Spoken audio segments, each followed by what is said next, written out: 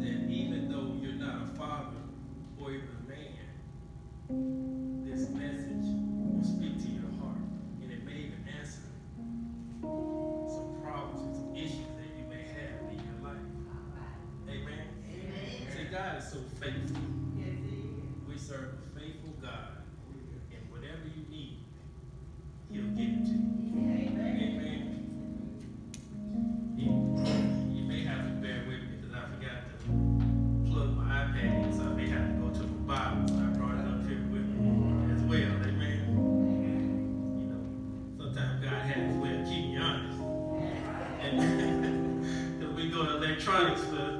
easy, you know, make it easy for us. But God said, okay. So, but to begin, I'm not going to give you a text this morning, but I'm going to read an article to you. Is that okay? And the article begins by saying, a child's primary relationship with his or her father can affect all of your child's relationships from birth to death, including those with friends, lovers, and spouses. Those early patterns of interaction with father are the very patterns that will be projected forward into all relationships forevermore. Not only your child's intrinsic ideas of who he or she is, as he or she relates to others, but also the range of what your child considers acceptable and loving. Girls will look for men who hold the patterns of good old dad. For after all, they know how to do that. Therefore, if father was kind, loving, and gentle, they will reach for those characteristics in men. Girls will look for in others what they have experienced and become familiar with in childhood. Because they've got used to those familiar and historic behavioral patterns, they think that they can handle them in relationships. Boys, on the other hand, will model themselves after their fathers. They will look for their father's approval and everything copy those behaviors that they recognize as both successful and familiar. Thus, if dad was abusive, controlling, and dominating, those will be the patterns that their sons will imitate, and emulate. However, if father is loving, kind, supportive, and protective, boys will want to be that human being. Excuse me, be that. Human beings are social animals, and we learn by modeling behavior. In fact, all primates learn how to survive and function successfully in the world through social imitation. Those early patterns and interactions are children are all children know. And it's those patterns that affect how they feel about themselves and how they develop. Your child is vulnerable to those early patterns and incorporate those behaviors, behavioral qualities in his or her repertoire of social exchange. Girls will look for men to hold the pattern. uh,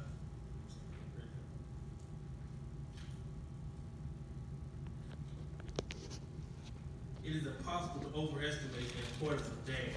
For young girls, in particular, their fathers can make huge impact on their self-esteem and how they grow into women.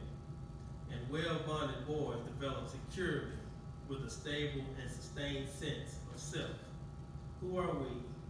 Who we are to be? We are becoming, and fathers are central to that outcome. Amen.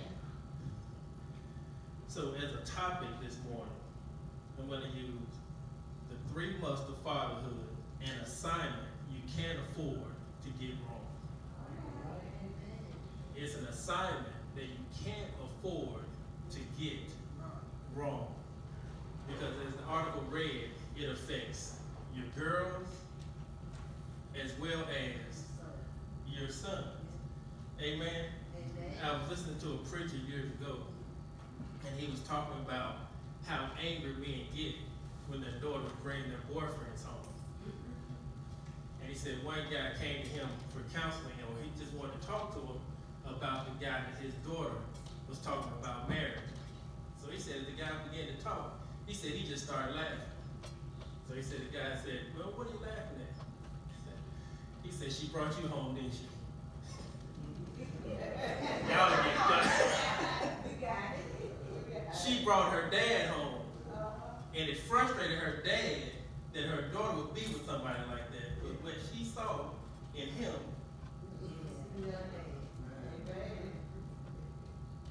so we only got a couple fathers here, but I'm gonna ask you the question: Would you be your daughter brought you home? Amen. Amen. And even ladies in relationships, if you're wondering why you may have struggled, look back at the relationship, the relationship that you have had with your dad. Amen. Now don't get quiet on this morning. And before I go any further, I got I got a confession to make too. I'm gonna ask the question. Last week I talked about self-control. Uh-huh. And I told everybody for seven days to work on self-control. Uh-huh. Friday I blew it. Amen. I missed it Friday. I didn't tell you what I did. But I missed it Friday. Now, listen. And the interesting thing about it is, I didn't realize it until this morning. You know, I shared with y'all last week uh, what TDJ said, and he said, You may have the Holy Spirit in your heart, but you got granddad in your bones. Amen. So, granddaddy there, daddy there, but you're going to need to trust the Holy Spirit Amen. for guidance. Amen. That's right. Amen. Because if you're not careful, you'll find yourself talking just like daddy talked. Just like granddaddy talked. Just like great granddaddy talked. Amen. Amen. And if there were none of those guys there, you'll begin to just make up your own language. And if it's not guided and rooted in the word, you'll find yourself being hurtful to people. Amen. Amen. You'll find yourself hurting the ones that you love. Help us. That's it. Help us. Amen. And you know, it's interesting. Uh, Janet Jackson had a song that said, What have you done for me? See, the women know that one. But as I was beginning to prepare for this, what God showed me was it's not what you do, it's what you say. Amen? Because I can give you everything you want and abuse you. So when you ask the question, what have you done for me? I can say, I bought you a car. Or I bought you a house. Or I got you that toy you wanted. I bought you the bike. But you've been abusive. So the question should be, what have you said to me lately? Have you told me you love me? Have you told me how wonderful I am? Have you shared your loving thoughts of me? Amen? Amen? And as a father, that should be a consistent thing. And you know, and sometimes uh, children do unlovable things. Amen? We've done unlovable things. Amen. And you know, we ought to be compassionate about it because we probably did the same thing. And you know, and sometimes I think we just mad because they may have did a little better. I ain't thinking about doing that. But we can't get this wrong. Amen. We've got to be faithful men. Let's look at James 1 6. And it reads, But let him ask in faith, nothing wavering. For he that wavereth is like a wave that the sea, wave of the sea driven with the wind and tossed. As a man of faith or as a father of faith, you you gotta ask without wavering, without a doubt, and knowing who God is. Amen.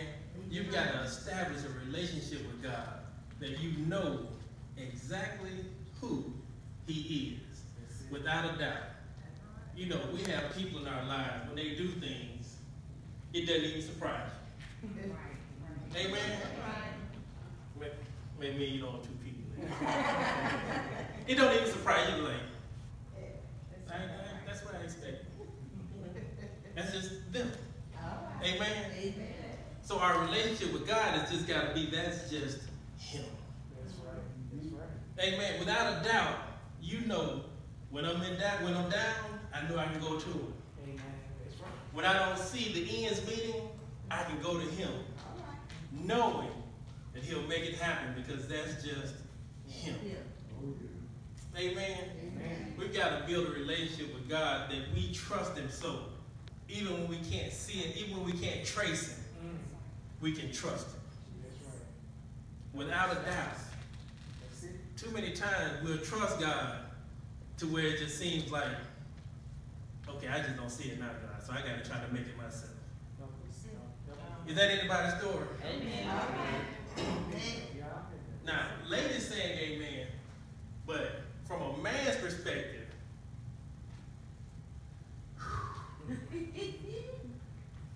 it's even stronger. Yeah, I'm trying to make it happen. That's it. Amen. Amen. I can only imagine in 63 years the things that he's had to do to make sure his family was okay. Okay. But without God, Right. he wouldn't have been able to do it. Right. Amen. Amen. And you know, that's the things that we've done or we do on our own, where God allow us to do it and make make us think that we got it right. Right. Amen. Amen.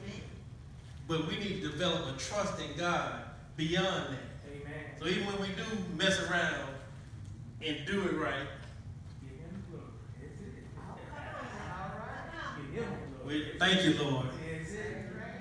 That's it. But then when we struggle, we got to go to Lord. I just got to trust you right here. Amen. Lord, I, I, I can't see it as clear as you want me to, but I want to trust you because you love me That's you right. and you gave me the assignment of these children. Amen. All right. Amen. Amen. Because when God blessed you with, He gave you an assignment. Have mercy. Yes. And if you are a teacher and you give your students an assignment, you expect them to redeem it, Yes. complete it. Complete it. That's it. Amen. Amen. So God has given you an assignment Mm. when He gave you the children. And it's going to take you to complete it and return it. Amen. Amen. And the returning part is, is that you make sure your children know God. Amen. Amen. Because if your children don't know God and you begin to speak God to them, y'all are speaking two different languages. And you're wondering why they don't understand what you're telling them. Have mercy, Lord. Dedicate us. That's it. That would be just like me going across the street. Well, no, we can make it even plainer. Thanksgiving, we had some boxes with food in it. And a few of us went about three houses down, and there was a Hispanic lady that came to the door. You remember her? And as Karen was trying to give her, say give, give. freely, food. No English. No. She didn't understand what was about to happen. So what I'm saying to you is, it's very important that you make sure your children know the Word of God. So when you're trying to communicate with them, Amen. Amen. That's right. it's not a no English. Right. Train them up. They understand. It. Amen. And when they don't understand, they understand enough to ask questions. See, because she couldn't even ask what y'all doing. She- there could be, there was no communication. Amen? Amen. So we've got to, when we're praying, that we not waver in what we're asking God. Amen. Amen. Amen. and let's look at Job.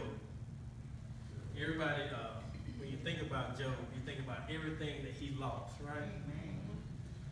But there's Job chapter 1, verse 5, where Job gives an example of a faithful father. Amen. You know, when God uh, began to ask Satan, had he, had he tried Job, he talked about him being upright. He talked about how good a man he was. But he said he didn't say anything about the father that he was. But in chapter 5, the Bible shows us, excuse me, chapter 1, verse 5, it shows us that Job was a praying father.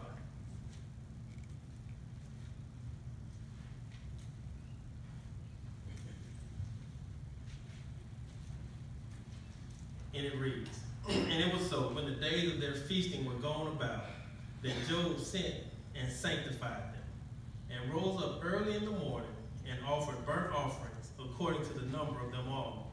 But Job said, It may be that my sons have sinned and cursed God in their hearts. Thus did Job continually. Job prayed for his children continually, just in case. Amen. Amen. Somebody say just in case. Just in case. You know, so many times we wait till things get bad and then want to pray. But Job said, or the Bible said that Job prayed continuously for his children just in case they sin. Well, the thing about that is, and I don't want to break any of your hearts, but I'm going to be real with you. Your children sin. Amen. Amen. We all sin. Yeah.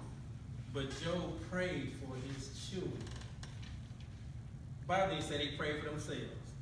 But the Bible said that Job prayed for them. So as a father, you should always be praying for your children. That's right. Amen? Amen. That's right. Going, coming, good, bad. All right. You should always be praying children. Amen. It's your responsibility. Amen. Amen. Amen? It's your assignment. That's right. Amen. That's right. You should never get too tired, too caught up, too busy, that you don't take the time to pray for your children. And I told y'all a couple weeks ago, uh, last June, my dad passed. And when he passed, he had clothes and suits and all kind of stuff. Mm-hmm. And my mom said, well, come over here and, see. Well, if y'all know my dad, and most of y'all don't, my dad was about 5'8", about 170 pounds. Amen? Mm-hmm. Now, I ain't gonna tell you how big I am.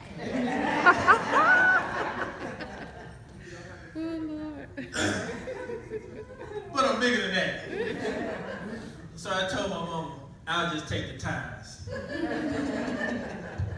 Good. And this is the tie. I told her I'll take the only thing that I can wear. Oh, And that was the ties. Amen. amen. But growing up, Oh, at about 11, my dad had a conversation with me that made me cry. mm. And you know what his conversation was? What? He said, son, it's not in the cards for you to be tall. Dad is not tall, you're not gonna be tall.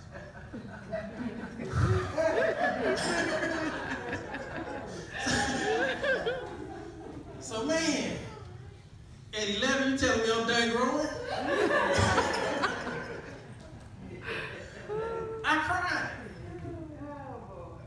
He wasn't intentionally trying to hurt me, but his words made me cry. Mm. because I didn't want to be a short man. Amen. Amen. Nothing wrong with short men.